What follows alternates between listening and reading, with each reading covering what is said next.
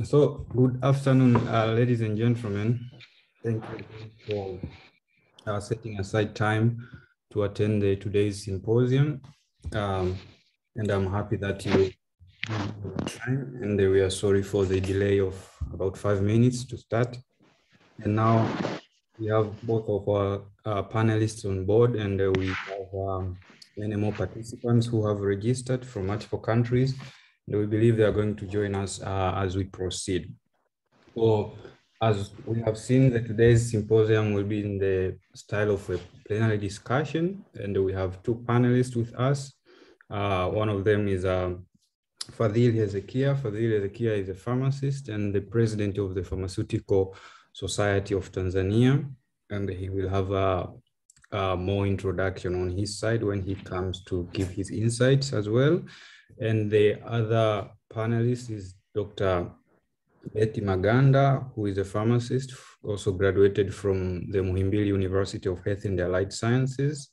She also has a master's degree in pharmaceutical management from the Bradford University in the UK and a PhD in clinical pharmacology from Muhimbili University of Health and Allied Sciences, as well as the Karolinska Institute in Sweden. Dr. Maganda has published a number of papers in peer-reviewed journal, and she's currently working closely with the uh, Medicine and Medical Devices Authority, as well as the Pharmacy Council, Council of Tanzania in the areas of pharmacovigilance, as well as pharmacy practice.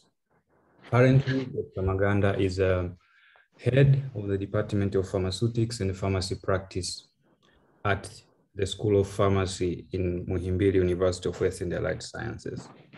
Uh, today's discussion is centered around the topic of, of accredited uh, operations of accredited drug dispensing outlets in Tanzania. And we are going to uh, look upon the access and availability of medicines and other issues. Also, we are going to highlight the challenges, opportunities, and the way forward with regard to this uh, uh, program of, of ADDOs, which has been operating in Tanzania. Uh, just to highlight what is ADDO for, for those of us who do not know particularly what it, it is, maybe. Uh, I, I have tried to prepare a short summary for, for you about ADDO so that we can get to understand it better. And my summary is based on the recent, on an analysis which was done by Dr. Brandon Russell on the Tanzanians uh, ADDO program. Research, uh, uh, or, and also some insight which have been obtained from the website of the Pharmacy Council of Tanzania. So ADDO uh, is an acronym standing for Accredited Drug Dispensing Outlets, and the program which was established in the year 2003 in Tanzania through the collaboration between the United States-based nonprofit organization, which is called Management Sciences for Health, in short MSH, and the Tanzania Food and Drug Authority at that time, FDA. The program was created in response to the 20, 2001 country assessment conducted by the MSH Strategies for Enhancing Access to Medicine, which is in short SEAM program.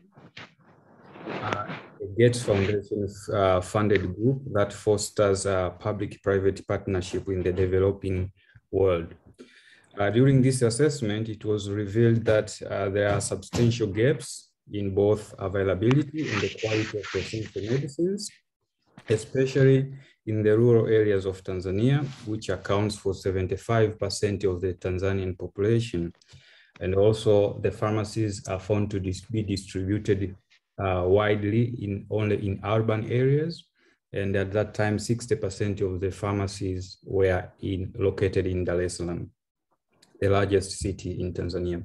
So uh, people in the rural areas uh, accessed medicine primarily through private retail shops. At that time, they were known as Duka la Dawa Baridi in, in, in Swahili, and which uh, the Duka la Dawa Baridis have been accredited or authorized by the TM, TFDA to carry on small list, uh, only small list of prescription medicines. So by that time, uh, this Duka Dawa Baridi were not allowed to sell the prescription medicines at all. So the SIMS assessment revealed a spread of illegal dispensing of essential uh, prescription medicines, even though they were not allowed in the Duka Dawa Baridi, and many of which were also of poor quality due to the lack of oversight and unregulated channels of their distribution. In recognizing uh, these findings, rather than shutting down the Duka la Dawa Baridis or remove the stocks from this medicine, the ADDO program was adopted, which was focused on training the Duka la Dawa Baridi employees to bring supplies and services in line with best practices so that the shops could then uh, be reclassified and they're authorized to dispense prescription medicines.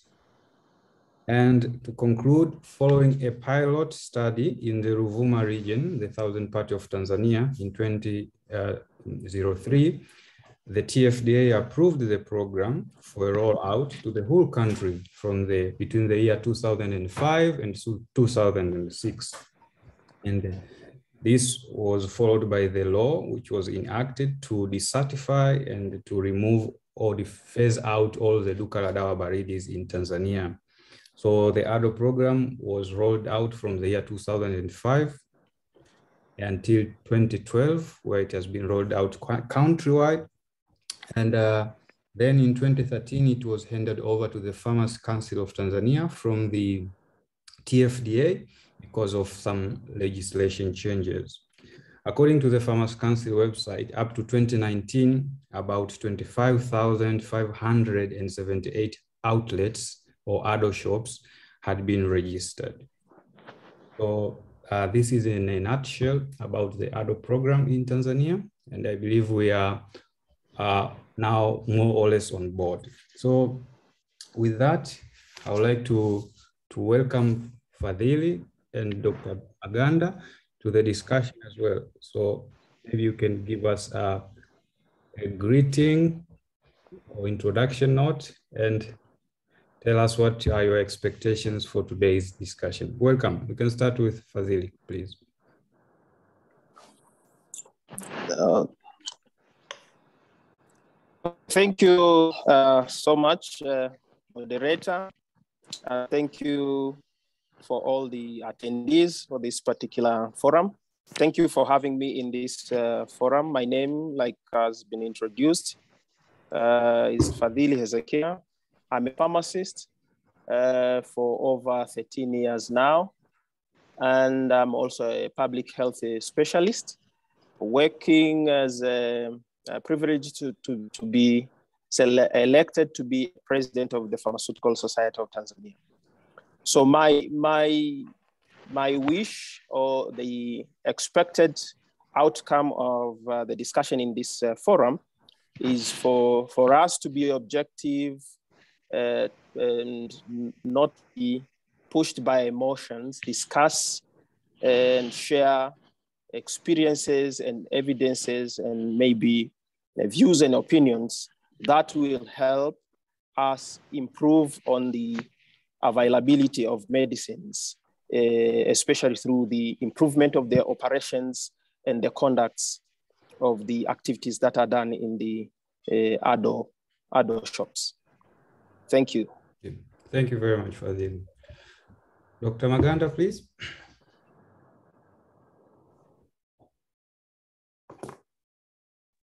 Uh, good afternoon. Good afternoon. Uh, so my name is Betty Maganda. As I've been introduced, uh, I'm a pharmacist working with Muhimbili University as a lecturer and the head of Department of Pharmaceutics and Pharmacy Practice. So as a pharmacist, uh, I'm sure uh, the symposium today we're gonna give us a, a, way forward, how we can improve the operation of ADO in the country or otherwise uh, to ensure there is uh, improved access uh, to medicine of good quality and efficacious. So that's what I'm hoping that we're gonna have a way forward which could be done to improve the access quality medicine because this is one of the why AD was uh, in, established in Tanzania. Okay, thank you so much, Masota. Okay, thank you very much, Dr. Maganda. uh, for the nice introduction as well. And uh, uh, as Fazil said, we try as much as possible to focus on the agenda and avoid emotions. And we use um, just discuss the matter with facts so that at the end of the day, we can help the responsible stakeholders into improving the program or doing any other decisions which are relevant at this particular time. And everyone is free to contribute. You can do so by writing on the chat box so that I will read it for you, or you can raise your hand and switch on your microphone and uh, give your contribution or ask your question directly. We'll be happy if you introduce yourself, who are you and uh, where are you working or where are you from so that we can get to know yourself better. And uh, also, um, yes, if you are an expert or you are working, you have a particular experience with ADDO, don't uh, hesitate to highlight it so that we can also know you and ask you follow-up questions if we need to benefit from your expertise or knowledge in this uh, program as well. Uh, so as we know, ADDO was uh, established with the four main objectives. One of them was to improve the quality of medicines which are being distributed. Another one was to increase the availability of medicines. And another one was to improve the quality of dispensing services. And the last one was to ensure affordability of the medicines uh, uh, in Tanzania. And uh, our, our, today's discussion, because there is a lot of ways to discuss ADDO, and it is a very broad topic. So we try to limit ourselves in a set of aspects so that we can uh, finish within the, the available time. So we try to, to, to understand ADDO or to discuss ADDO in terms of uh, how has it contributed uh, to the access and availability of medicines, uh, what are the quality of the dispensing services, and uh, we highlight also on the training programs which are generating the ADDO dispensers, and finally on the regulation or oversight aspect of, of, of the ADDO. So maybe to start with you, uh, Fadhili, uh, what are your uh, what is your opinion on the contribution of ADDO uh, towards the access and the availability of medicines in Tanzania since its establishment? Welcome. Uh, thank you so much, uh, uh, Nelson. Uh, to be uh, frank, on the idea and the structure of the ADDO program, uh, so in the in the ideal condition, would would say that the reasons and the thinking of the establishment of the ADDO uh, was meant to help the access, uh, increase access to medicines to people who are in the uh, hard to reach areas, in the suburbs of the towns, and in the rural areas. So for me, uh, to some extent, this may have been achieved.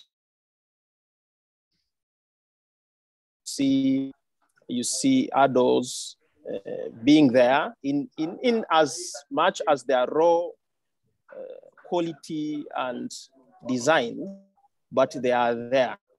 Uh, we believe they serve people in those areas. But the issue that uh, is still questionable is on the, the objective of the ADDO establishment, whether it uh, attained the, the quality of uh, the objective of the establishment of these, especially when it comes to the quality of services offered there and other factors that were put into consideration when initiating the program. But the program by itself, by all its uh, means of establishment, the idea uh, is, is, is the idea that will definitely, if done well, help uh, making sure that uh, people in the intended areas get the services they intend.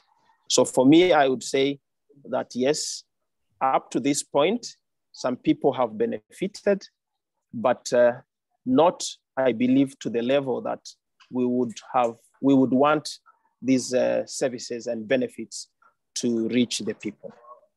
Okay, thank you very much. And Dr. Maganda on your side? Um, I, I think uh, the objective of establishing ADDO in Tanzania was good because uh, they wanted to improve availability, uh, improve the quality, and uh, improve uh, access. I think that's uh, the idea was good. And when you look on the objective, you look it was a very good idea. But another issue is like the program has faced a quite number of challenges. The objective was really good, but there's a number of challenges which maybe uh, has made that uh, objective not to be met as it was supposed to be done. Uh, we are being served by unqualified uh, dispensers. The, and the objective was to remove those uh, uh, un, uh, untrained dispensers. We had to ensure that the standard settings of the premises, they meet a certain uh, standard, but when for current, when you go and see, you see that uh, there's some others which they don't meet even those standards. Uh, there was a continuation of business, but to ensure there's continuation of education and supervision, but you don't see any more those supervision to be conducted. So the objective was good because uh, it has improved our uh, accessibility to medicine, especially in the rural areas where there's no pharmacies, because they wanted to ensure the ADDOs are available in rural areas and the urban areas where there's no uh, pharmacies. So when you ask me, uh, the objective was really good. Maybe the implementation of the objective has been a, a problem. Maybe when we continue talking, maybe we'll come out with a way forward, how we can ensure the objective of starting ADDO uh, can be met. Thank you. Okay, thank you very much. Um, Yes. uh, thank you for the highlights. And speaking of those uh, issues, uh, I have some studies here showing how ADDO has performed with respect to uh, availability and access of medicines as, as, as example case studies. For example, John Chalker in 2015 showed that among antimicrobials purchased by members of the household, 32% of them were, were being recommended by ADDO dispensers. And uh, Chalker and the Martha in 2016 also showed that 48 to 49% of medications from different households were being purchased from ADDO. And also Edmund Rutta in 2015, studying in Tanzania, showed that 86% uh, of, uh, of, of, of households obtain their medicines from ADDO shops. And uh, some finding are there also saying that most thought that ADDOs are more convenient and they deliver high quality services and also they deliver high quality products. With respect to availability of antimicrobials in the ADDO shops themselves, the study done by John Chalker in 2015 also found that 63% of the trace antimicrobial uh, agents were available in the ADDO shops, which was compared to 60% available in the public health facilities.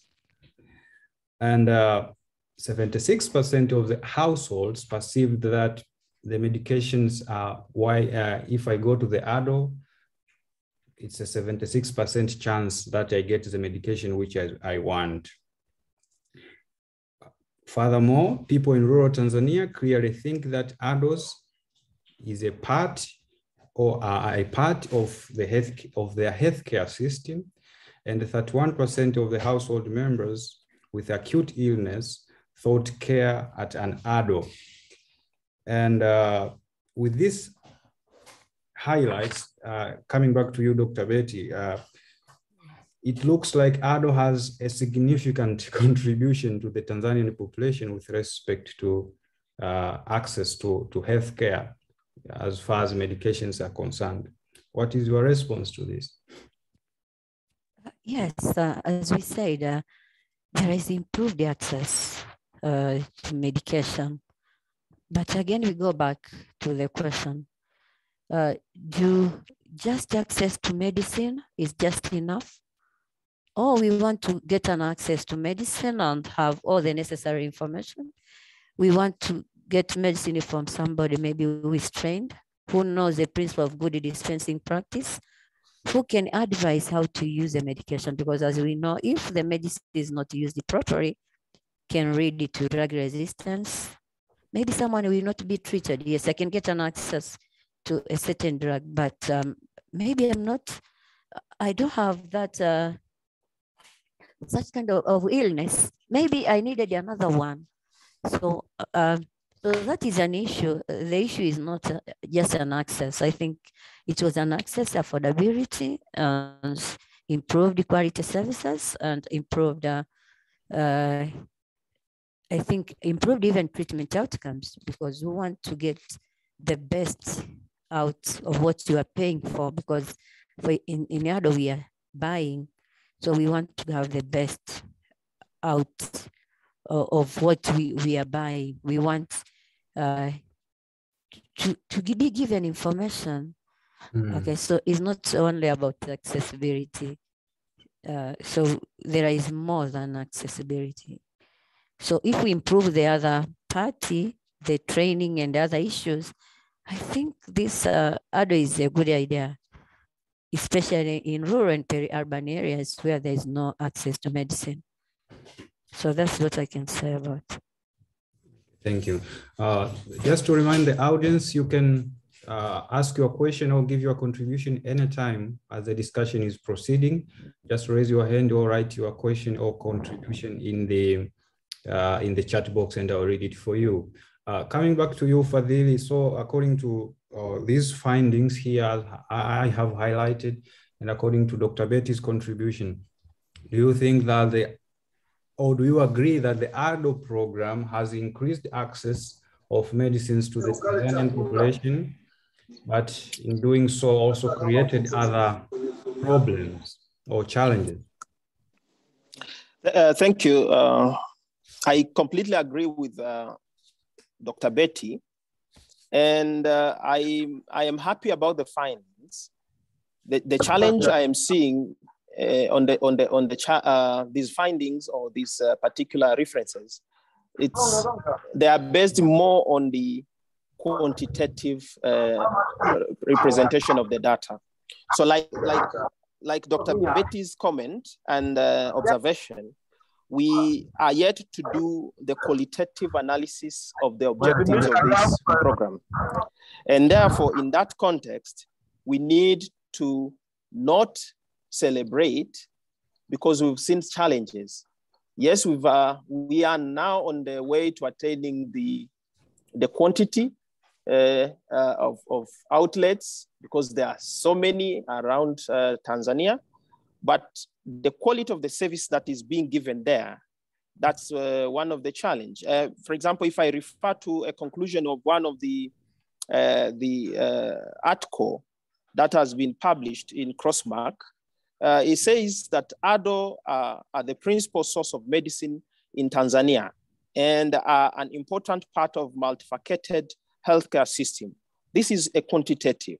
But when it comes to, to quality now, uh, the second part of this conclusion says poor prescribing in the health facilities, poor dispensing at the ADDOs, and inappropriate patient demand continue to be uh, uh to, to, to contribute to inappropriate use of medicines. And considering that now we have a large number of out, uh, ADDO outlets compared to pharmacies, so you can see the challenge that we are having need to now move the efforts from quantity ADDOs to quality ADDO services.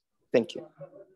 Okay, thank you very much, Fadhili, uh, for that uh, very insightful contribution. Uh, and speaking of quality, uh, maybe we move straight forward because we have already spent some time on the issue of, of, of access and availability of medicines. And uh, uh, speaking of quality, Actually, uh, some other findings uh, from 2016 say that 90% of the medications uh, which were being dispensed in the ADDO uh, shops were adequately labeled and they are well packed. And 61% uh, of the advice which was uh, of the patients which visited or clients which vi who visited the, the ADDOs received advice about nature of their illness and 29% of the dispensers gave information on medication, so 29%, and 5% of dispensers gave information on the side effects. And 66% uh, of the clients were dissatisfied with the waiting times in the public health facilities, but they were very satisfied with uh, the waiting times when they go to the ADDO shops. And Rebecca Thompson in 2018 said that staff in the ADDO had better knowledge of first-line antimalarials than those in non-ADDO regions by that time. So are these representative, are these findings representative of the quality of healthcare services being offered in the ADDO shops? Dr. Betty, please.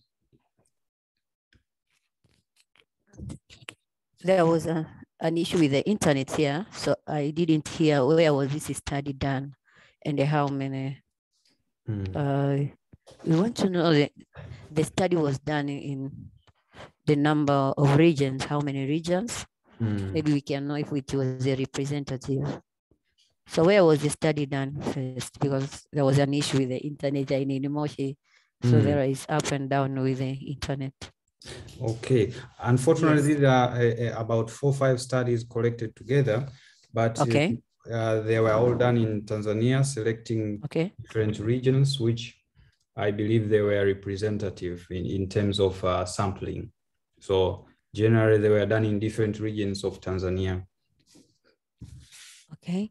Yes. Uh, because I wanted to know where was this study done. For example, the study was started, uh, the program was started in Ruvuma, mm. where these people were well trained and they were training people who were uh, already being in the farmers. So, and they were training nurses. Mm. So that's why I wanted to know where was this study. And there was a close supervision in Ruvuma when they were doing the pilot before doing this now to expand country. Okay.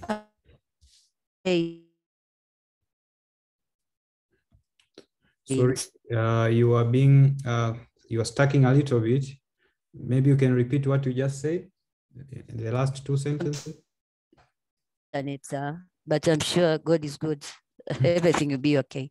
So I'm saying uh, uh, is saying that uh, it's okay with the uh, quality of services being provided. As we can see, yes. I think there was 5%. I, I didn't hear yeah, five, reading 5% the findings. 5% of the dispensers uh, gave information about the side effects of the of the medication and, they, and, they were dispensing. And there was 29%? 29% of the dispensers gave information on medications generally. Aha. Uh-huh. Mm. 29, just 29% gave information on medication. Yes. So just let's uh, let, let me talk about the uh, 5 cent and 29 cent. Okay. Almost not getting information from the, the other dispensers. Uh, I, I think uh, when we go back to the training of other dispensers, these are nurses uh, or assistant nurse. And when they be, uh, when the program started, they were even training those people who were on the farm uh, in the Dukalada Baridi. So they were being trained.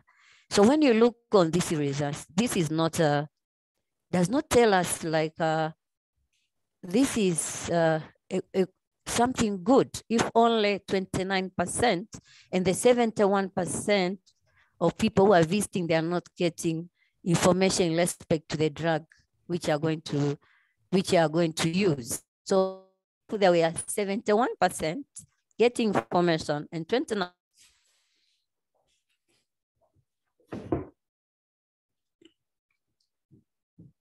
see there's a gap in the training. Okay.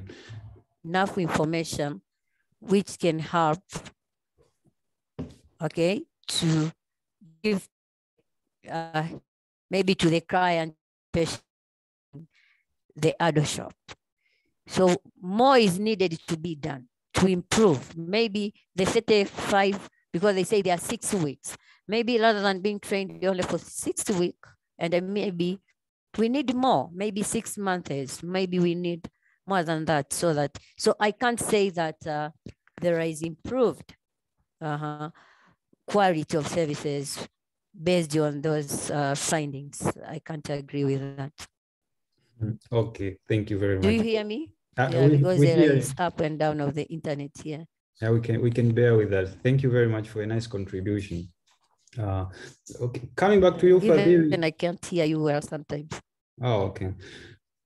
Fadhili, coming back to you, uh, what are your insights regarding the actual quality of services being provided in the in the pharmacy, uh, not in the ADDO shops? Because we have these findings from research, but based on your experience, what can you share about the quality of services? Uh, thank you. Based on the, the data that we just shared, one could be moved and tend to believe that uh, uh, the, the, the quality of the service is, uh, is to the level maybe that was expected. But again, as Dr. Betty has highlighted, the, the, the timing of the research this uh, study could mean a lot.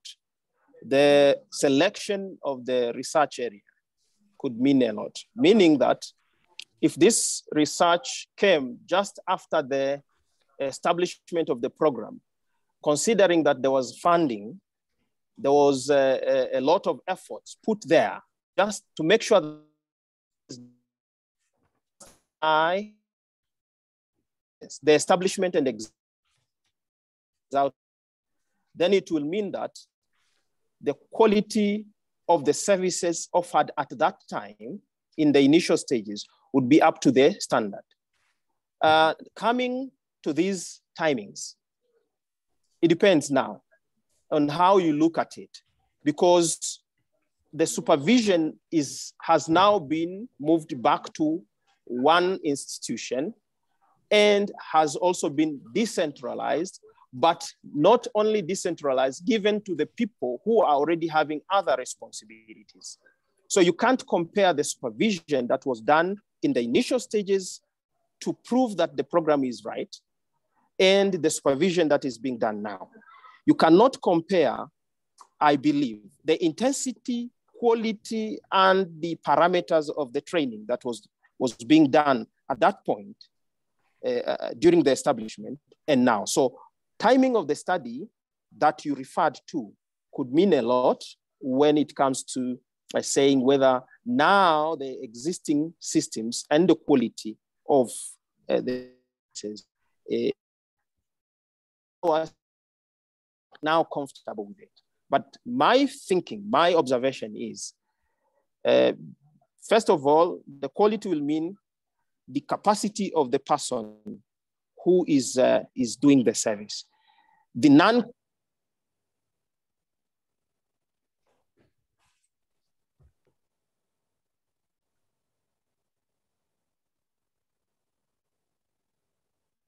Hello, Fadili, are you are you there? We we lost you for a moment.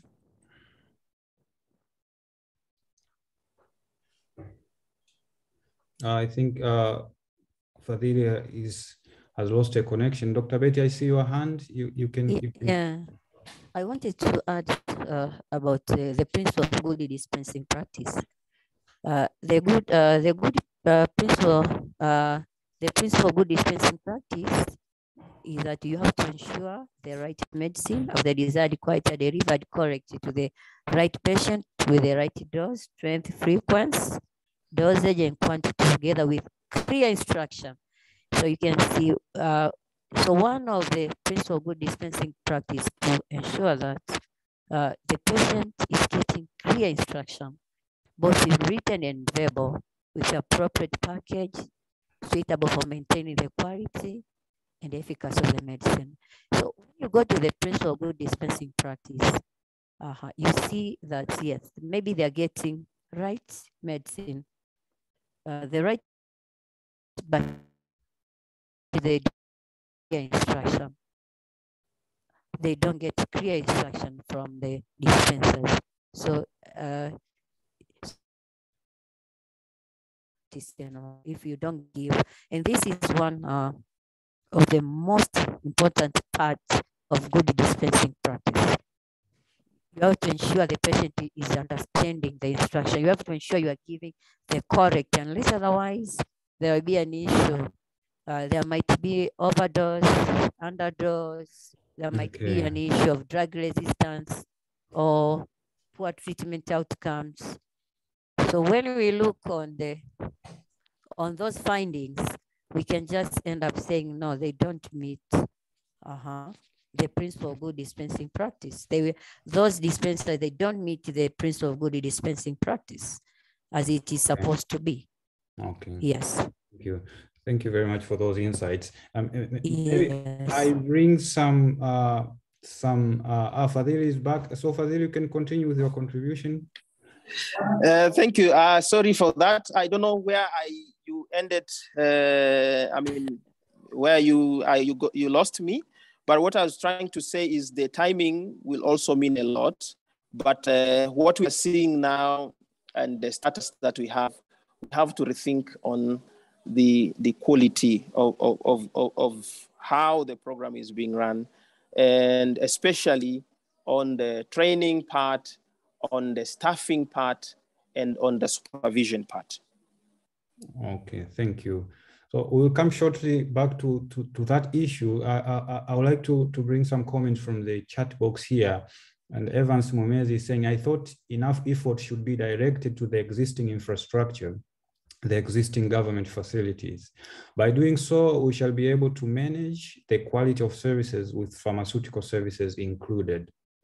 And Wilson Julius is saying, important thing here is to have qualified pharmaceutical personnel to provide services in Duka Dawa Muhimu because uh, you cannot study pharmaceutical services in 35 days and, and do better in that area.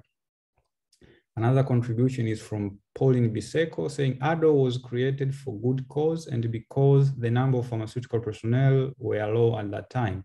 I suggest we keep the dispensing of medicine to pharmaceutical personnel and the number as the number is higher now than it was before. Uh, and uh, uh, lastly, from Evans again, now this brings the issue of employment of pharmaceutical personnel in a low-level health facilities. This is possible through creating an attractive environment, and it's indeed cross-cutting.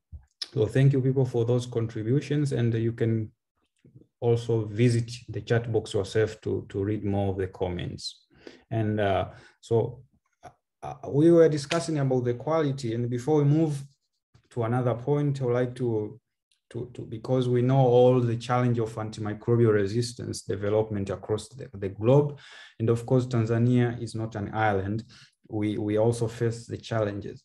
With respect to antimicrobial dispensing, uh, uh, the study done in 2015 by John Chalker again found that 34% of clients presenting with an acute respiratory infection symptoms in an ADDO shops were prescribed with an antibiotic. And 85% of the clients who requested an antibiotic were sold one, and no significant difference in dispensing antibiotic without prescription was noted between the ADDO shops and the, the then Duka la Baridi. This is according to the study done by, by Professor Minzi and Vincent Manyelizo in 2013. The same study by Professor Minzi and Vincent Manyelizo uh, found that 35% of dispensed uh, of, of ADDO shops dispensed incomplete doses of antibiotics. So here we see almost uh, with regard to provision of information, provision of antibiotic without prescription, pro provision of incomplete doses of antibiotics uh, associated with these uh, shops from about uh, three different studies in three different years uh, or, and this uh, highlights about what Dr. Betty was, was contributing, I think, about the uh, the, the challenges in the services, uh, the quality of services being offered in these uh, outlets. And that brings us to the, to the next point about, uh, about training of the program itself. Because now, uh, if, if the, the dispensers are, are delivering low quality services, maybe the issue is on the training. Dr. Betty, can you highlight us on the training of ADDO dispensers in Tanzania? How is it conducted?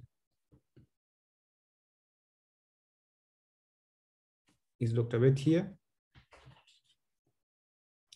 Okay, maybe Fadhili, you can help on that? Uh, I was muted. Uh, okay, continue, please. Yes.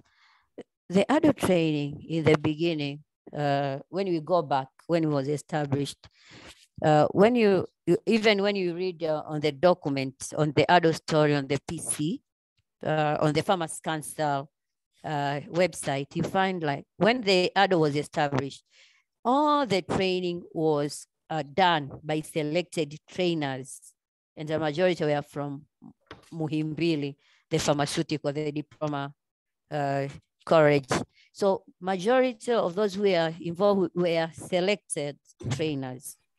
Later on, there were uh, this called uh, the giving different institution to train.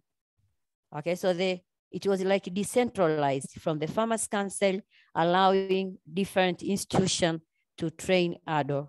So I think that's where the problem now started because you don't know how different people they train this.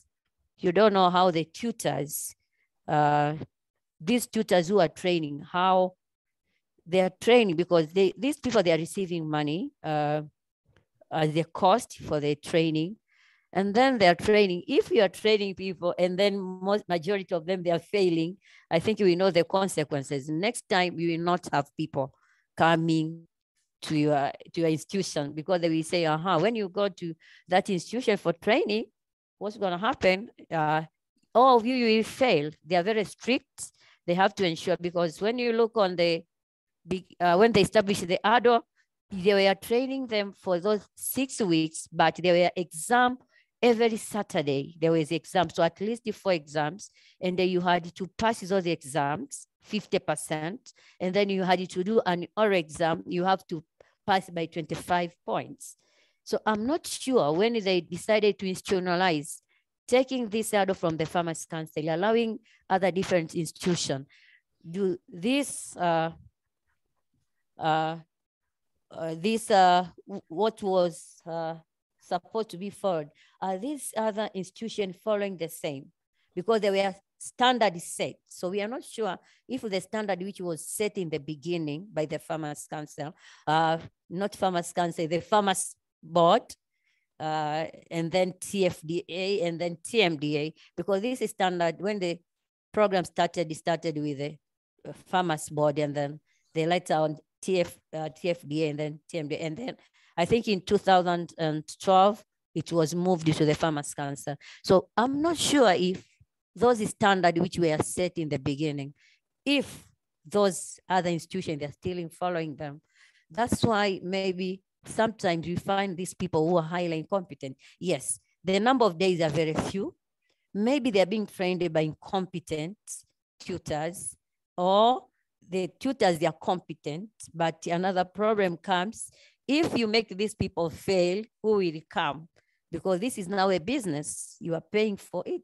But when there was selected tutors uh, and this program was funded, so these tutors, they have nothing to, to lose, even if, if you don't meet. I remember uh, once upon the time, people they are saying we are failing when you don't meet those requirements. But I've not heard for a long time with these people again, they are failing uh -huh, if they don't meet those requirements. So what I can see that I can say that after mm. institutional uh, deciding to move this program to different institutions, are they still meeting the required standard mm. as was set by the Pharmacy Board?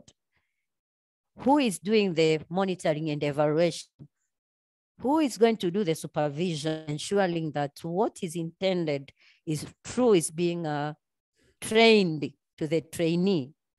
So maybe Mhm. those are the questions to ask ourselves. Who are supervising those institutions?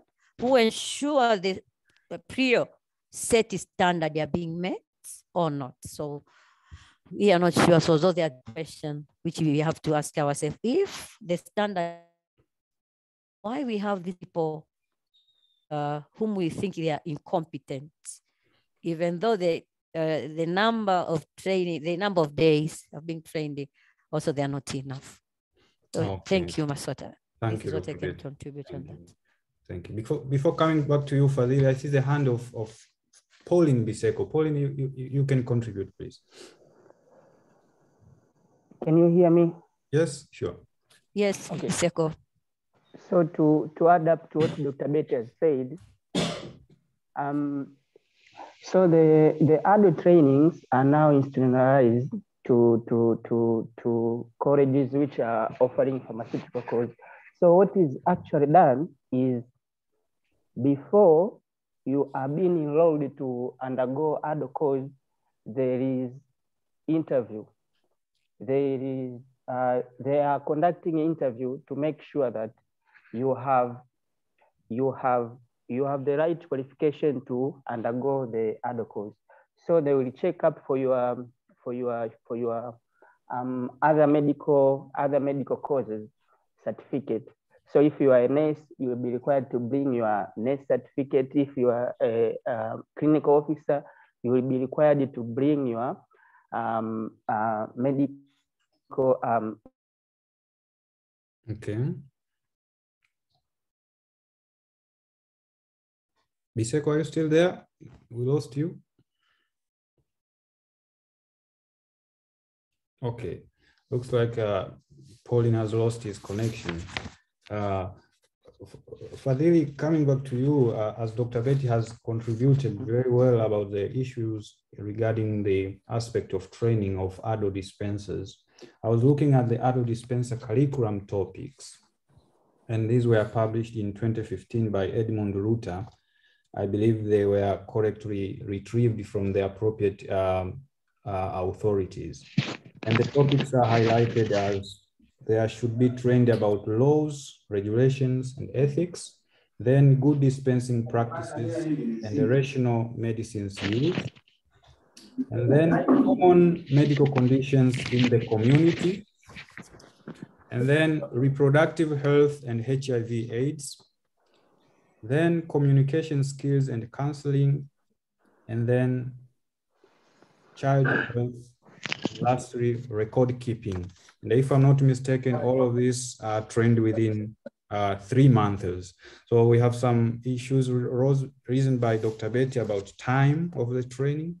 And looking at these contents of the curriculum, uh, Fadhili, do you think uh, it's adequate to prepare someone to work in, a, in an ADDO outlet?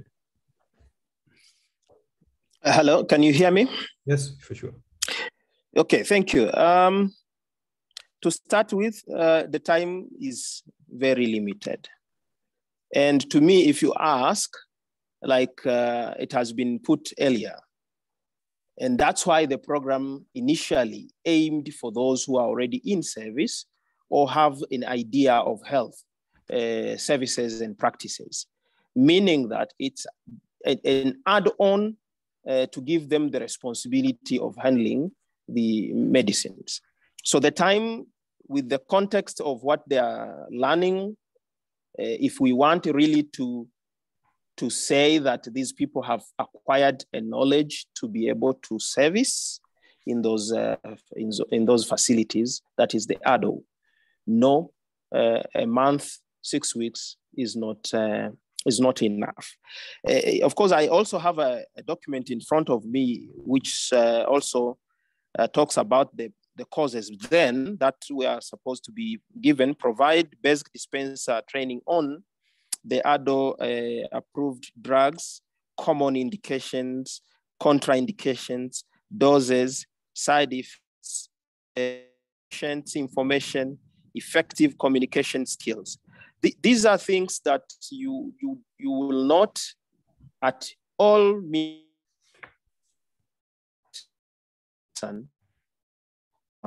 especially based of the people that are now attending these uh, these courses. Mm. So so for me that's that's my my thinking and uh, that will be my contribution. Okay, thank you very much for that. Uh, I see the hand of uh, Farhan Yusuf. Farhan, welcome to give your contribution. Thank you so much, moderator. I hope you can hear me. For sure. Uh, yeah, so my name is Farhan Yusuf. I'm a pharmacist. I've been practicing in Tanzania for the last 10, 11 years, uh, mostly working in the space of health system strengthening and pharmaceutical supply chains in the NGO domain of things. So first of all, I think I would like to congratulate uh, the Pharmacy Forum for finally having a technical discussion about ADDOs because I usually say that it's very unfortunate that most of our conversations about ADDO usually happen on Twitter and they are very much driven by something went wrong somewhere and then people start discussing that. And so you know it, it becomes a very subjective discussion. And i'm glad uh, for you know another element that was presented early on today that let's have a very objective discussion. So i'm, I'm quite pleased by that personally uh, while i think i'm you know quite happy that we are having a technical discussion i think there are two elements that are missing in our discussion today. And i you know perhaps the organization the organizers try to have this but i really think what would have helped more with the discussion today is having two more stakeholders in our discussion panel. Number one someone from either pharmacy council or tmda because you know they are the regulators they are the ones who are running the whole show. We have certain questions about training that we are discussing right now that would have been very easy to answer if someone from pharmacy council was present here. Because for example even when it comes to the ADDO dispensers curriculum, you know, we are referring to content from 2015, but I know for a fact that that curriculum was reviewed in 2020. So there's a new ADDO dispensers curriculum, and I think those kinds of clarification would have been provided by Pharmacy Council had they been around in this discussion, number one. Number two, I also think, you know, an element that is missing is that we do not have someone who owns an ADDO or dispenses an ADDO on the panel. I often find it quite unfair that we have all these discussions about ADDOs without really involving the ADDOs in the discussion. So we, we are usually, I, I think we don't come to a conclusion because it ends up becoming an us versus them situation whereby it's pharmacists versus ADDOs, whereas that's not how it's supposed to be. So I think what would have been really helpful was if we had someone who either owns an ADDO or is dispensing at an ADDO to also be part of this discussion. I mean, I do know that there are certain pharmacists, by the way, who own ADDOs, right? Rather than owning community pharmacies, own ADDOs. So it would be nice to have that kind of representation over here as well, so that we could hear from their angle, you know, what their thought processes are, what are the challenges that they are facing, just again to have a more objective and well-rounded discussion. Uh, I think, you know, hopefully we'll go more towards the way forward later and, and I have some thoughts on that. But I think lastly, just something that I want to comment at this point is that as we are thinking about the way forward, again, from a very technical and objective point of view, I think one of the things that we need to keep in mind is that there's the ideal scenario, you know, which uh, would have, you know, the best healthcare services available at all times to everyone, the whole universal health coverage, you know, uh, issue that we keep talking about. However, I, I would pledge everyone here in the discussion and in future discussions to be a bit more realistic you know keeping in mind that we have resource challenges right? We have a lot of issues. I mean we are having discussions around you know more hiring of pharmaceutical personnel health facilities. Like there there's so many uh, challenges. So as we are thinking about solutions, let's be practical and realistic and talk about long-term solutions, which would be the ideal scenario that we are striving to get at. But in the short term right now, where we know for a fact that some of these things may not be possible immediately, how then do we improve the, the regulation? How then do we improve, you know, some of these other elements of supportive supervision, for example? I mean, you know, even when we talk about that, supportive supervision is not just an issue for ADDOs. For anyone who's worked in the health sector, they know that even health facilities will complain to you that we don't get enough supervision. So it's it's not a very some of these issues are not isolated ADDO issues. They are larger health system issues. And so, you know, solutions for those might be a bit more complicated. So let's be a bit practical in our discussions and focus on, you know, what can be done in the short term to improve some of these things. Thank you. Okay, many thanks Farhan for, for a very nice contribution. Uh, we really appreciate. Uh, just on behalf of the organizers to, to respond to uh, about the composition of the panelists, it's true. Uh, we're having two panelists today. One is a representative of the Pharmaceutical Society of Tanzania, and the other one is an academician. Uh, our efforts to find a representative from the Pharmacy Council of Tanzania uh, were not successful.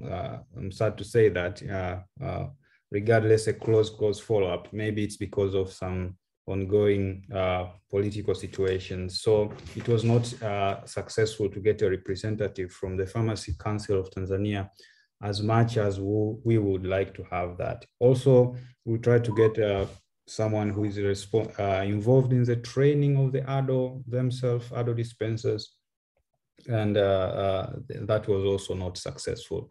But if you are in this forum today and you own an ADDO, you can happily contribute about your experience as well uh, without any hesitance. Uh, apart from that, we will keep trying to do other discussions about ADDO in the future for sure.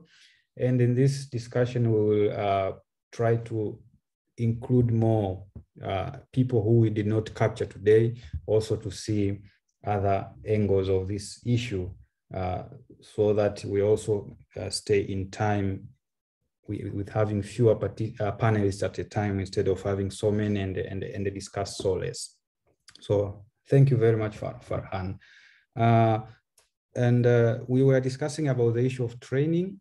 And uh, I, I think, uh, Fadhili, do you have something to add on that?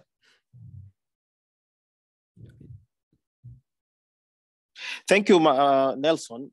Mm. I, I thank I thank Farhan for his uh, his open-minded contribution. And I would want to add on what he, he said on a different angle, uh, especially when it comes to human resource. It has always, always been a, a hideout for most of uh, saying that uh, let's be realistic.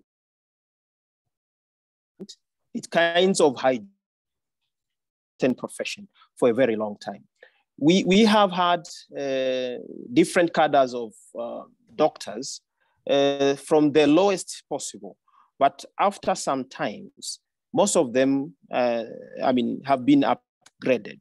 And we agree, maybe uh, when the program was uh, started, we needed some people, just like a crash program. But now, as we speak, we have a lot of institutions offering Eh, higher levels of uh, pharmaceutical personnel that eh, are lower than pharmacy, which who can be used in this establishment of the new ADDOs. What we are trying to say here is not closing the existing ADDOs, but from now on, we need this program, yes, but we need to change the strategy into the human resource in the, the, the, the, the ADDO. How do we do it? We don't think that using one month to train a person and give them mandate to hold medicine is feasible eh, when we, when we are looking at the quality.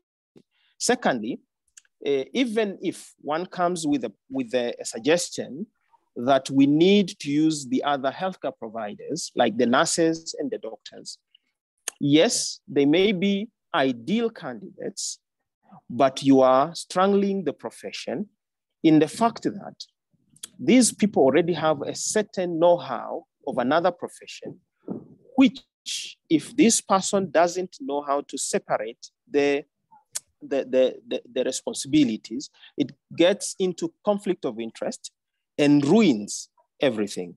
And now what we are trying to, to make sure that we attain is to have a, a, a conflict of interest free ADDO, but with personnel that have acquired the necessary information and they can handle medicine. And this is for a fact.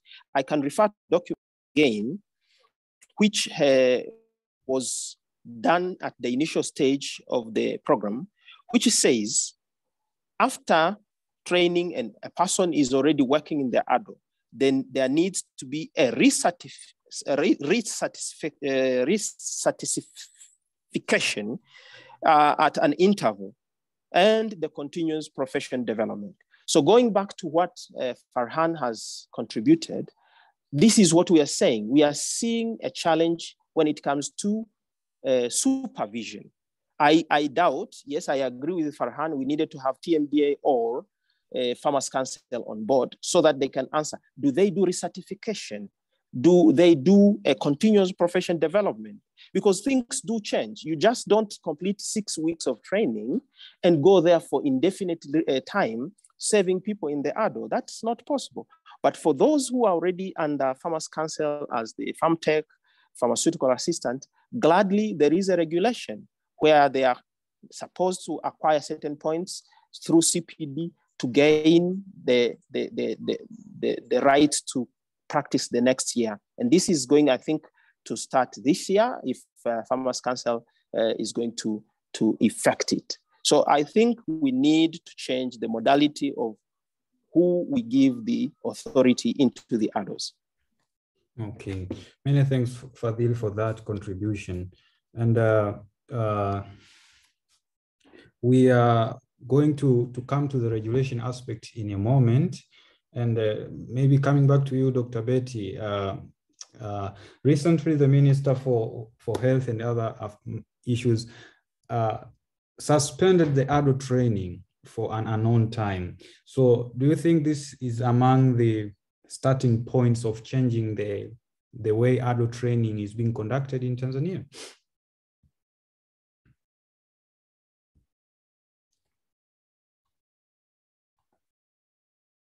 Dr. Betty, are you there? Yes, I'm there. I'm there, I, I, uh, I agree with uh, Fadhili, what he was talking about. Like there was, when you look on the documents, there was uh, supposed to have the certification, training and retraining, and continue uh-huh, education. So there was training, retraining, so I think maybe uh, suspending this training maybe will give us time to think uh, that, or to have new strategies, how to go about.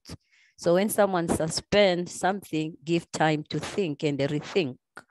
So I think this is something good. We, we have time to think and rethink maybe how we can improve the training. So this might be a good chance for bodies.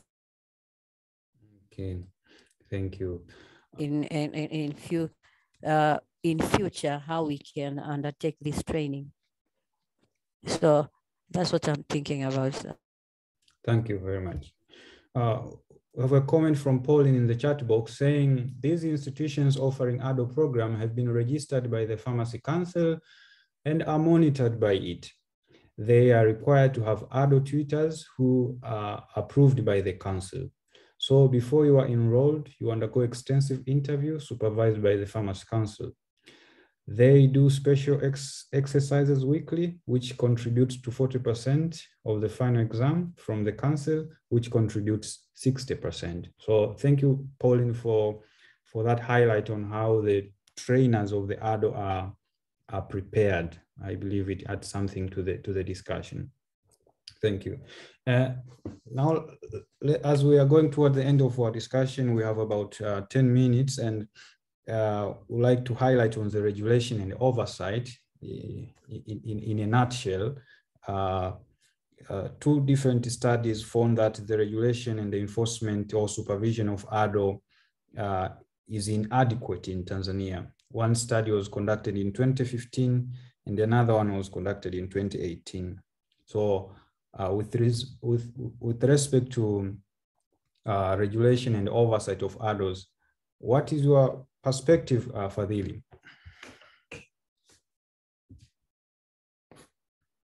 Okay, thank you, uh, Mr. Nelson. Um, I think my my my observation and uh, comment will, be just like the one that I shared earlier, and I tend to to do it uh, with with caution, especially considering what uh, Pauline has just uh, um, shared and Farhan's uh, view on, on this. We agree, yes. Uh, I think maybe this uh, would be a good discussion if uh, Pharmacy Council was going to be here. Uh, but it is uh, for a fact that the regulation starts with who trains. And to me, I, I tend to feel that the, a believe that uh, your pharmacist, because a pharmaceutical technician, maybe you you you just can train. You, you just can train people. But I, I want to believe that for this particular kind of programs, especially with, the, with this short time that is used to train people, then the trainer also be the people answer so that we know for sure that these people have content. These people take time to remind themselves of the dynamics so that whatever they offer to those people going into the ADDO shops, knowing that they offer to them in a very to be a concrete information easy to assimilate. So for me, I think regulation starts with the trainers. Second, regulation in terms of uh, monitoring, that is what I cannot go into because maybe I've not been into Pharmacy Council, not knowing how regularly they visit the colleges. But the challenge will be if they announce a cause, for example, and you, you receive a hundred people in a class and you want to train them in a month and you have only one trainer, that will not be a training, will be a preaching. And in preaching, you, you, are sure by the time you finish the sermon, the, whatever remains in the head is very minimum. So people might struggle passing the exams, but what they retain after the exam may not be sufficient to serve into the ADDO shops. So for me, trainers, selection of the trainees, but also uh, not mixing the cadre because that will still bring issues when it comes to practice. Thank you. Thank you. Thank you. Dr. Betty, on your side, welcome.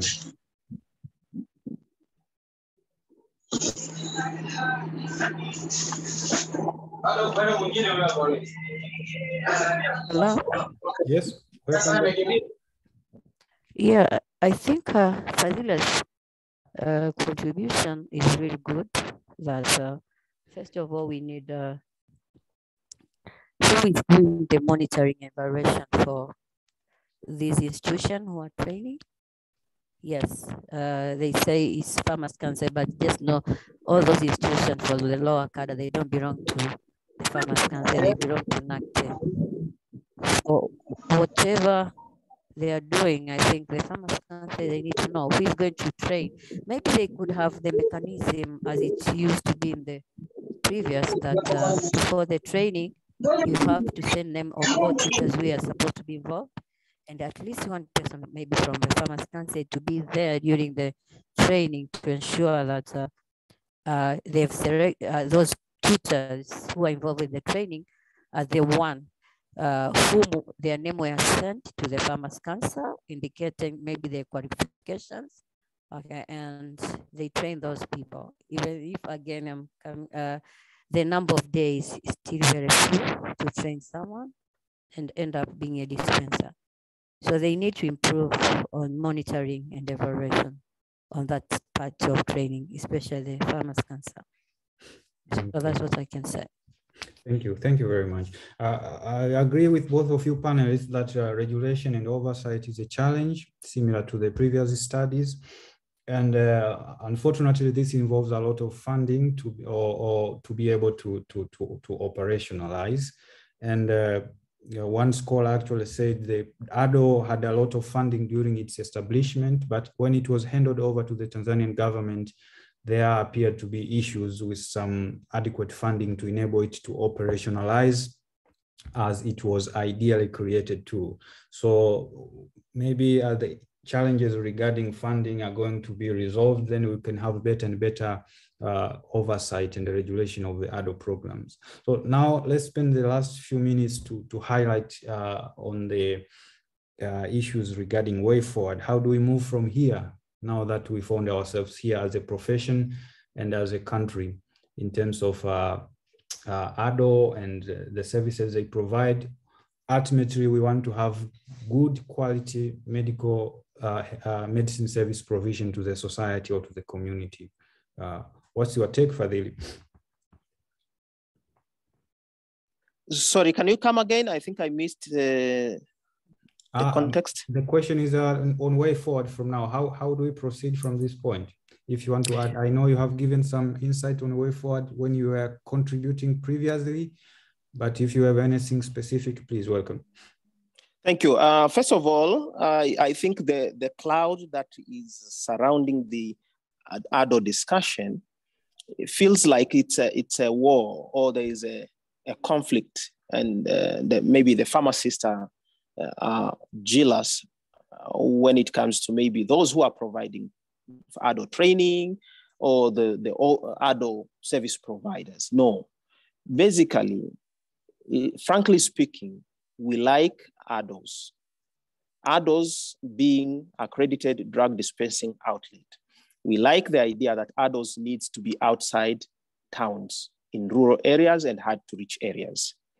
We don't want to see an ADDO in towns where pharmacies are already established because this makes, uh, first of all, makes people, uh, the community, not being able to separate the farmers and the ADDO. At the end of the day, they feel they don't feel the proper service that they can get at the farmers. Secondly, I want uh, us uh, all to agree for the fact that we cannot continue indefinitely training people to handle medicine for just a month. It has been done that way for medical clinicians, but they phased it out. And now we are saying doctors are many, doctors are going up to the level of the dispensary. What they did is the authorities responsible for clinicians made an effort to make sure that there is a plan to build the capacity and have the I mean the qualified staff they want. Yes, they started with the crash program, but the crash program had to have an end. So ADDO training of a month cannot go indefinitely, but ADDOs can be there in rural areas. And those who are were, were started in town in 2015, maybe, or maybe in peri-urban during the 2000 and, and, and, and, and I mean during the initial stages, and find themselves now surrounded by pharmacies, they need either to upgrade or to close so that the pharmacies can offer the services because pharmacies are there. Why have a pharmacy and an ADDO? And this is the regulation that is there in the, in the, in the, in the, in the Pharmacy Council books. And this is what we're saying. If it is there, why not being implemented? So we, the next phase is to make sure that we implement all the regulations that we have, even including uh, the regulations that mm, wants pharmacists to offer good services. Uh, on top of that, my way, my other suggestion on the way forward is to stop using other, other, other professionals in the short term pharmacy training. And this, I mean, we stop the ADDO training one month. We thank the minister has stopped for us to rethink. And when we come back, we come back with, to address what uh, Farhan's concern is, use a one month uh, forum, I mean, one year forum training so that we can quickly have them. But in this one year, still, let's not allow uh, other medical fields to use the one month, one year. The reason is if you give them chance to use the shortest possible time, they will still use it, go and do misconducts. Because if they were really interested in the pharmaceutical services to, to, to begin with, you can't lie to me that they didn't know that there is pharmacy. You can't. So I would encourage those who are medical personnel, those who are nurses, they start being accepted only from the diploma up. So that when they complete, they know they've acquired all the ethics of the pharmacy profession. But for those that we want to go into ADDO, they do one year and we don't accept other medical personnel because it will mess us up. We'll still sit, we'll still come back again into this discussion trying to, to, to, to take them out because there's no way, uh, for example, a pharmacist can go train one month and start doing clinical services as they are being done by maybe clinical officers. It is not possible. So why are we on the umbrella or the cloud of shortages, the, town, the country is big. Why the country is not big when it comes to medical personnel? Let the, the, the authorities, especially the Pharmacy Council, the ministry, both the education and the Ministry for Health work on the strategy that will help of the services.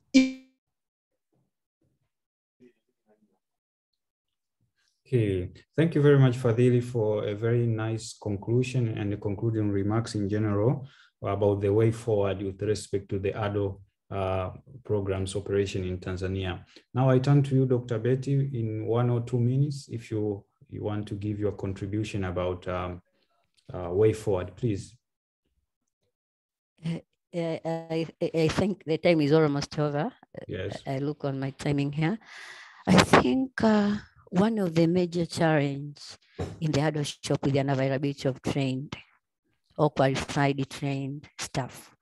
But when you look on the number of ADDO who have been trained and the number of ADDOs which are available, you see there is a mismatch between the trained, uh, there is 25,000 or almost being trained and 14,000 ADDO shop. So there's a mismatch. So one of the way forward to ensure we have trained or qualified, at least those who need to be retrained and to be retrained again, these adult qualified, at least we need uh, of matching employee and employer we need to find out where are these people who have been trained, where are they? Uh, and so I think we have almost 17,000 dispensers who have been trained, but where are they? What are they doing?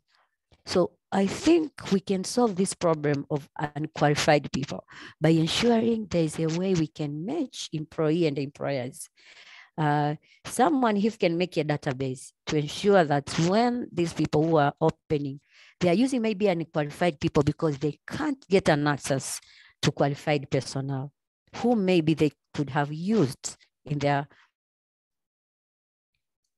So I find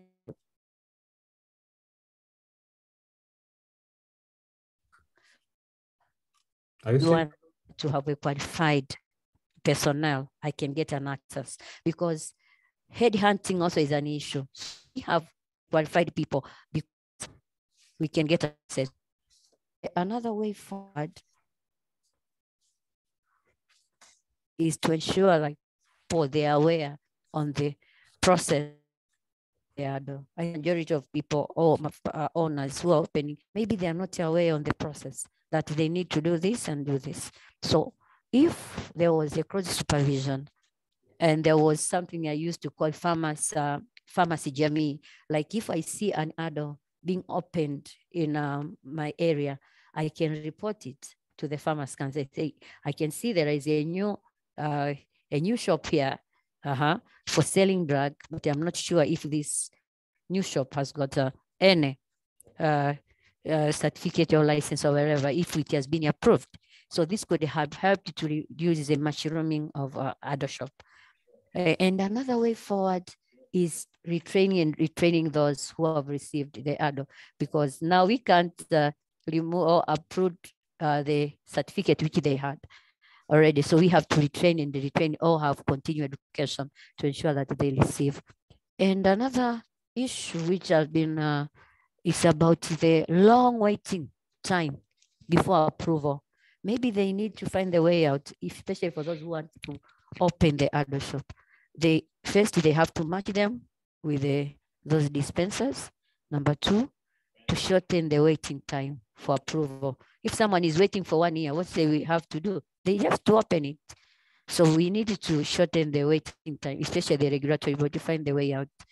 Uh, I, I usually don't believe on crossing things that someone has opened and then you cross. I, I feel like this is a policeman business. What I do believe is like to show people the way out.